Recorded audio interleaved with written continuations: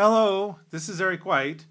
One recurring theme that comes up again and again when doing fairly interesting manipulation of OpenXML word processing ML documents is that it often is most effective to transform word processing ML to some other form that is easier to work with in certain scenarios, do the manipulation that you need to do, and then in the end transform it back.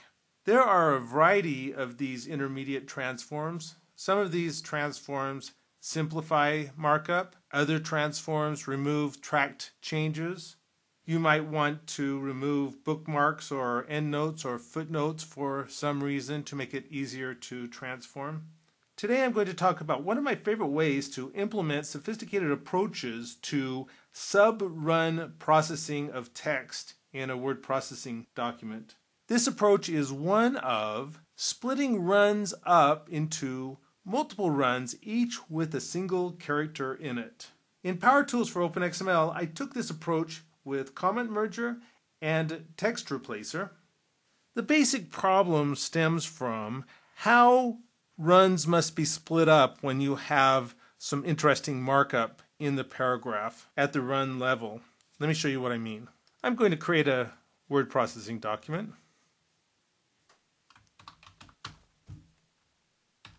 I'm going to insert a single paragraph with a single sentence in it.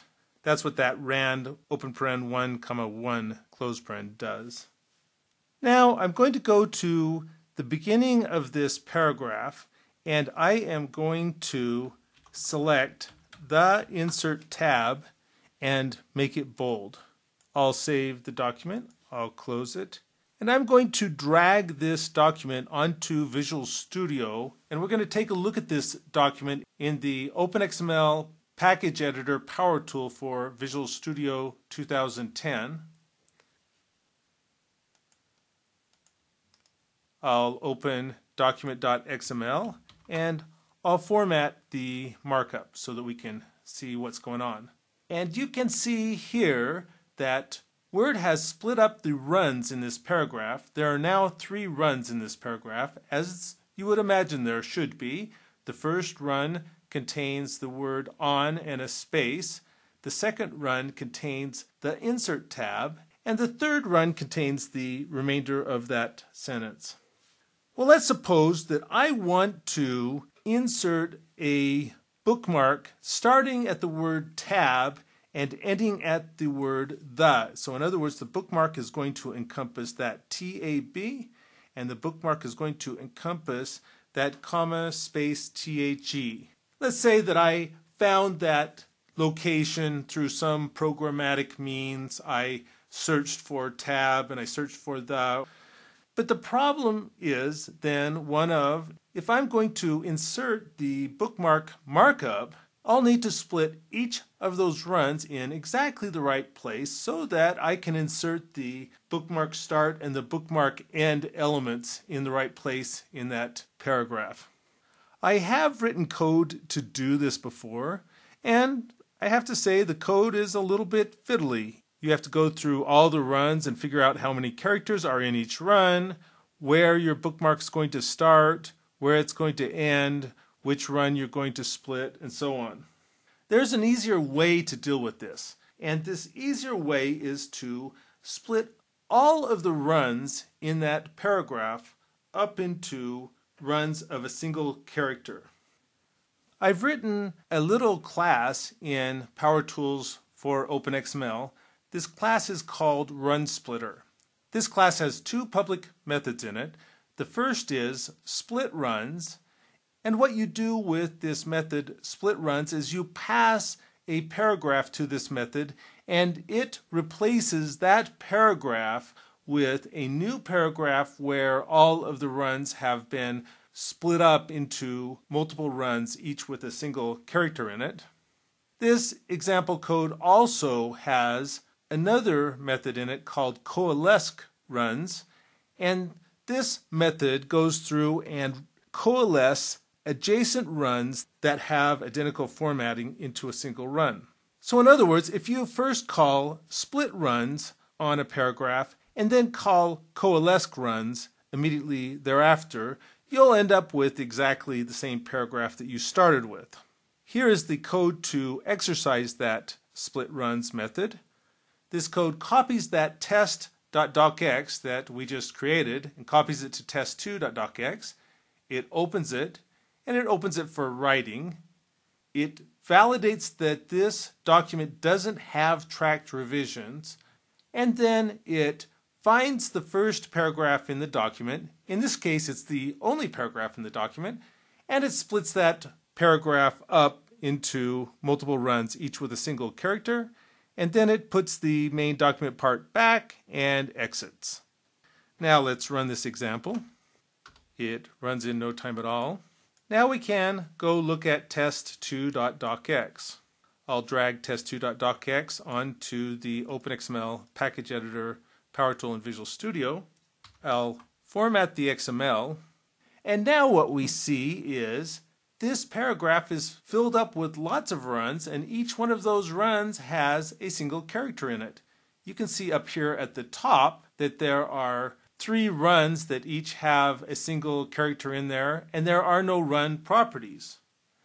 Dropping down a bit, we can see those runs that have bolded text in them and you can see that every single run has those run properties with the W colon B element in there. And if we drop down far enough, we'll see more runs that have a single character in them that have no formatting in them at all. This now enables us to go and make the change that I wanted to make in a really easy fashion. I told you that I wanted to insert a bookmark starting before the word tab and ending after the word the. And here we can see up here, here is the word tab, there is the TAB, and those characters are bolded. And down here, here is the word the, and those characters are not bolded. Well, now it's as simple as coming up here and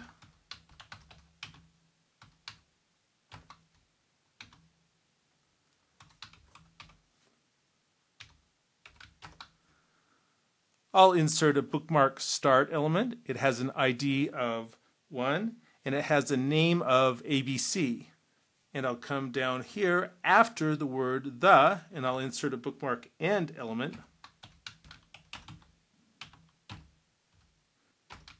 With the bookmark end, you don't have to have the name attribute. You only need to have the ID attribute and it needs to match up with the ID attribute in the bookmark start.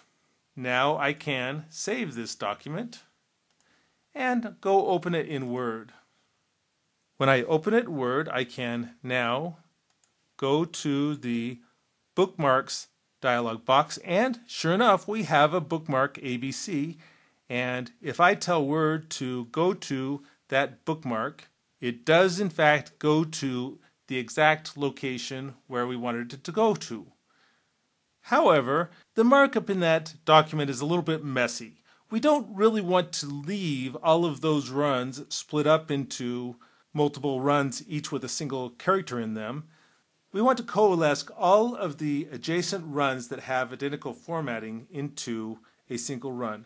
So let's delete this test document and rename test2 to test. And let's change our example code to coalesce runs.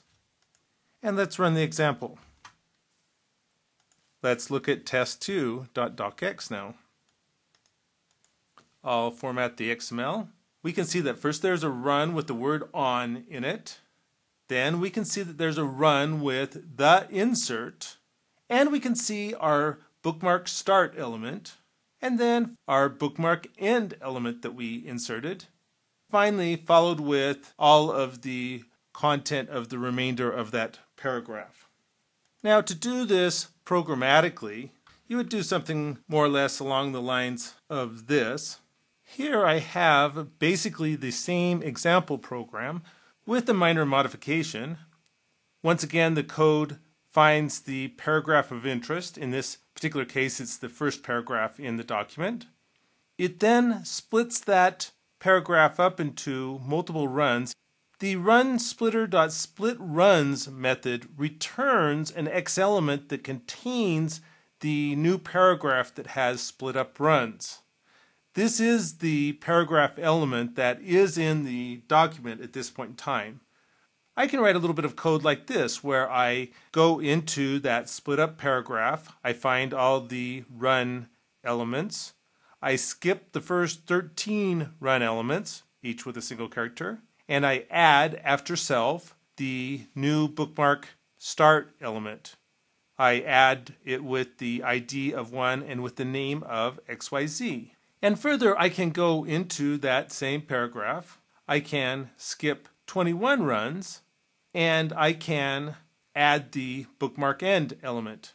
And finally, this calls the run splitter.coalesce runs method on that split up paragraph, and then it puts the X document back into the main document part. So now if I run this example, and let's look at the markup in test2.docx. I'll format the XML and let's go down here and look at the markup. And we can see it looks exactly like we expected to. There's a bookmark start element and the bookmark end element in the proper places. The name of the bookmark is XYZ and all of those runs that each had a single character in them are all coalesced into runs with multiple characters in them. One key point about this technique. I did a couple of experiments at one point in time seeing what would be the performance profile if I split up every run in a fairly large document into runs of a single character and as you can imagine, even on a modern computer with plenty of processing power, it didn't perform too well key point about this is that you use this technique very selectively.